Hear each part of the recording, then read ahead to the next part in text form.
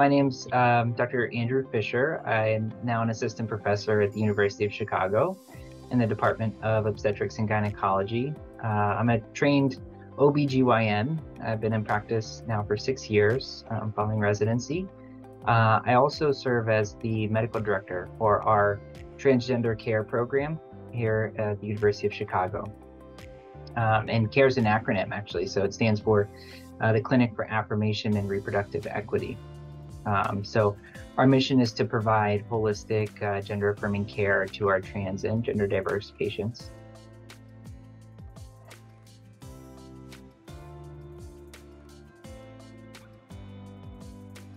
There are some really basic things that anybody who's kind of open-minded and well-intentioned um, and honest with themselves can do.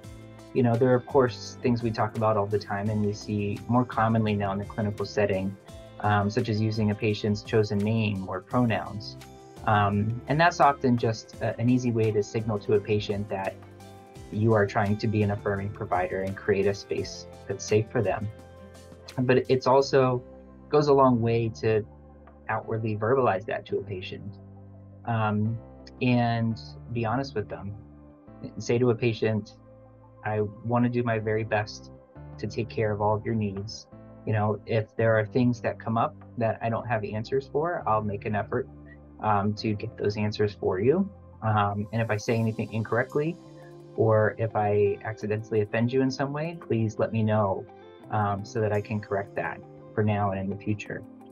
Um, patients don't expect us to have all the answers all the time, but if they know that you're on their side and in their court and willing to, you know, work with them and fight for them, uh, that goes a long way because there's not many clinicians out there still who, um, or, or, at least clinicians that they've interacted with, who may want to um, do that for them.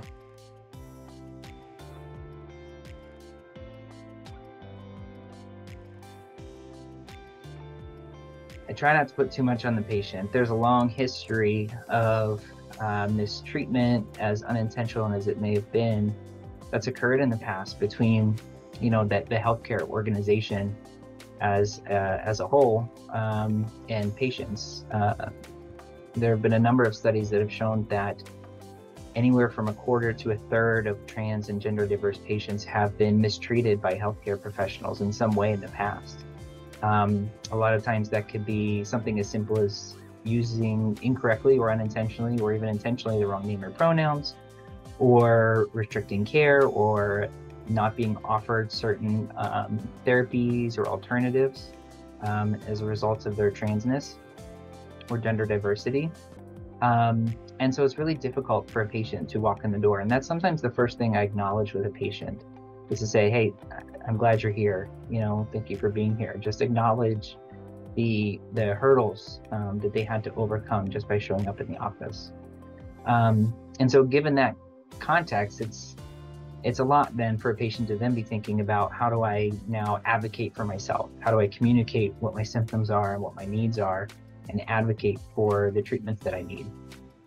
That burden should really fall on us as clinicians, I feel like. Um, but there are a number of things that we as clinicians should remember to do that patients can be made aware of um, that so that if they want to advocate for a little more of a comfortable space um, for them to be seen in that they can do. For example, uh, a lot of times, you know, we'll reflexively ask a patient to undress before coming into the office. And if a patient's asked to do that, they might simply request that they remain dressed, you know, until they meet the clinician. Uh, that may be more uncommon um, these days, but can still occur in a lot of contexts. Um, the other thing is that there are many terms we use in medicine that we don't think twice about, but can actually be quite offensive um, or distressing for patients. For example, if you have a trans patient um, assigned female at birth who identifies as a trans man, um, but doesn't identify with the idea of having a vagina or having a uterus or having an ovaries, sometimes it's more comfortable for them to use their own terms to refer to those organs when when needed. Um, and so we as clinicians can ask this, but patients can also say, is it all right if we use some alternative terms for some of the body parts that we might talk about today? And they can offer up what those terms are. Um, and that's an easy way just to help a patient feel more relaxed. Of course, there's times where we have to be very specific about what organs we're talking about or what organs we plan to examine. Um, and in those situations, we can kind of use both terms, the medical term and the um, preferred, more comfortable term to communicate um, what hurts them, uh, what symptoms they have, uh, and and what kind of plans or next steps we might have to do.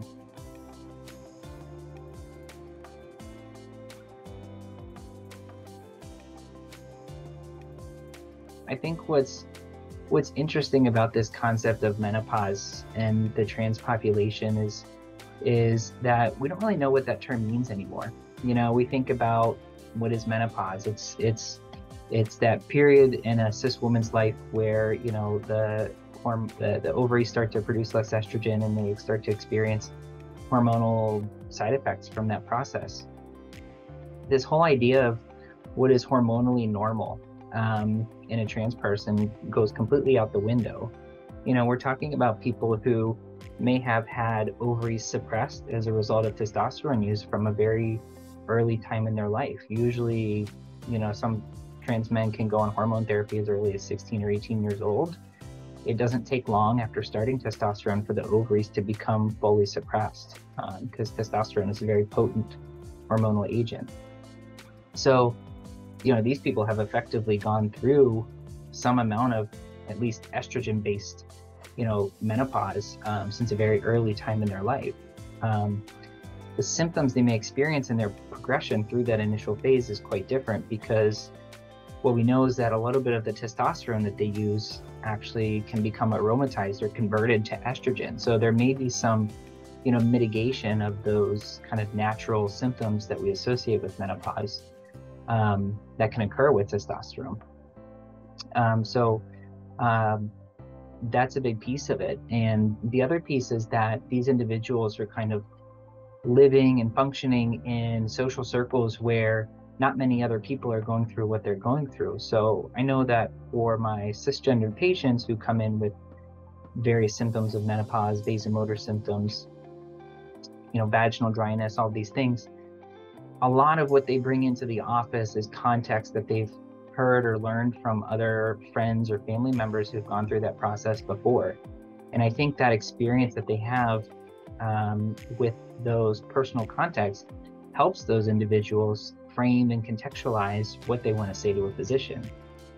Uh, many of our patients don't have those same contexts. They may read on or see things on social media or whatnot, but they don't even have the same, you know, vocabulary, if you will, um, to be able to describe what they're going through when they come into the office. And so, as a clinician, we have to be a little bit alert that maybe some of the things that they're feeling could be related to this hormonal process, even though they may not be able to necessarily associate it with that.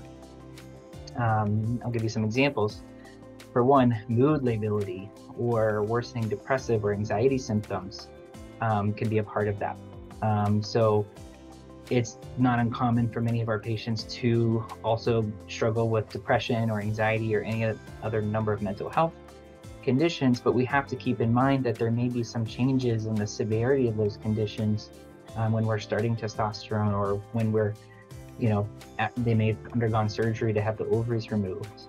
How much of that is related to the hormonal process of removing any endogenous estrogen that they have left versus, you know, what may be due to just their hormone therapy or are the things going on in their life. It can be really difficult to sort out, but I think just being aware that, hey, maybe this sort of, you know, unique menopausal process may be contributing to what a lot of what this patient's talking about and going through.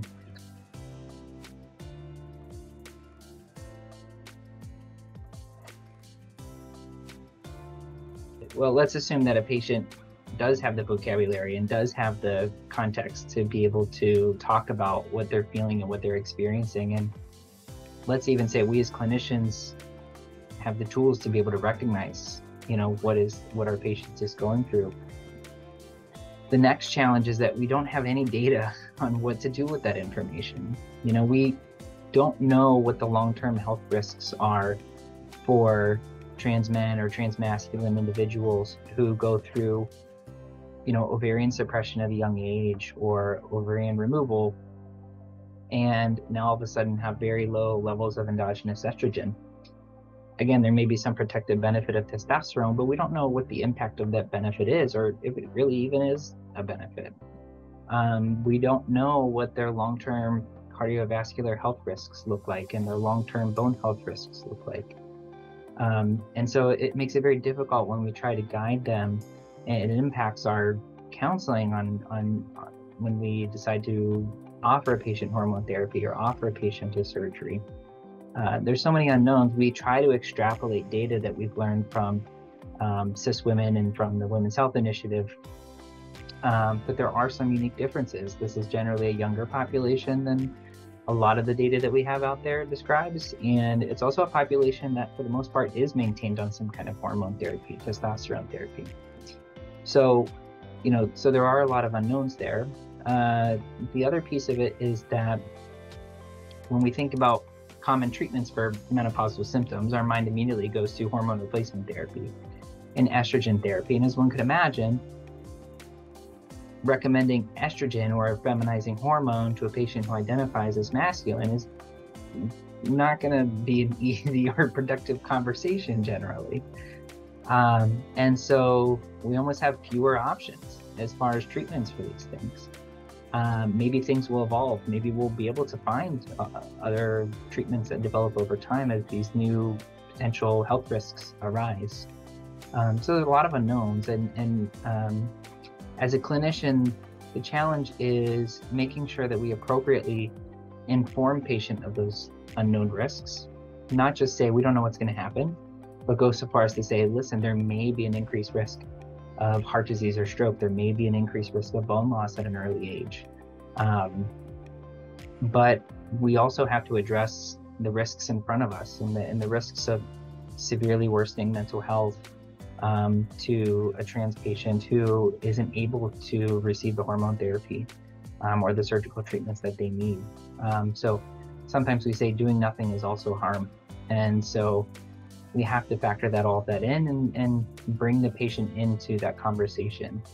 So um, my research is going to be looking more at, you know, what understanding those experiences of transmasculine individuals as they go through those um, critical hormonal changes and processes and steps in their lifetime, uh, and understanding what those long-term health implications are um, for the various treatments that we offer um, this very special population.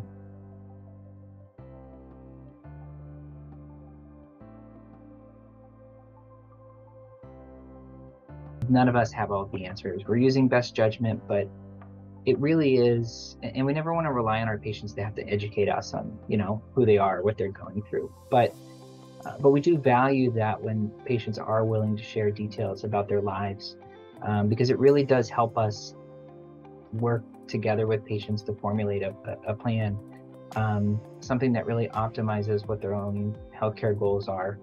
And um, the more they are able to share with us, the better.